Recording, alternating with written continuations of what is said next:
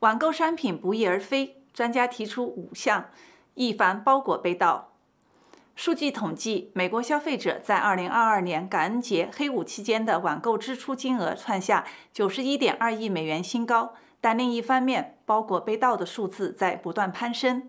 在十一月份发布的2022年包裹盗窃报告中，美国独立安全审查网站 SafeWest.com 以智能家居服务公司 Vivid 发现，全美包裹盗窃案件正在迅速增加。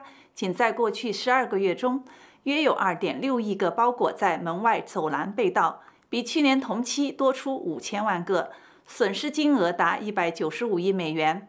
SWIFT West 安全专家贝利卡·爱德华兹说：“包裹盗窃是一种正在上升的犯罪，人们对网上购物的依赖是造成犯罪率飙升的原因之一。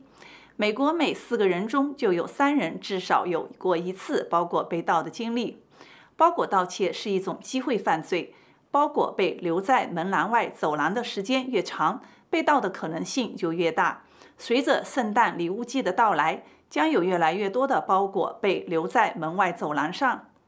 那么，如何降低包裹被盗的几率呢？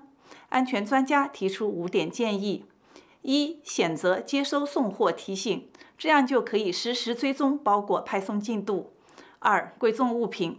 设置签名接收包裹服务，以此确保所购商品不会被快递员留在无人看管的门廊。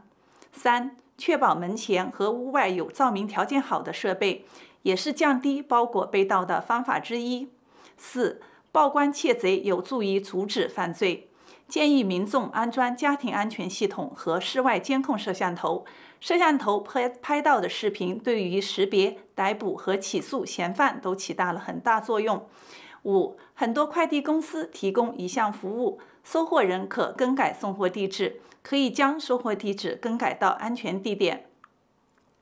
下面带您了解2022年全美包裹盗窃最严重的城市有哪些。